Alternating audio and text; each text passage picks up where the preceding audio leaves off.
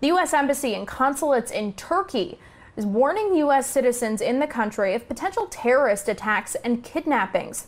The embassy says it's received credible reports of potential violence against Americans in Istanbul and other areas. U.S. citizens are being advised to use caution in areas where other Americans or foreigners may be. American citizen and visa services at U.S. facilities in Turkey are being suspended for now.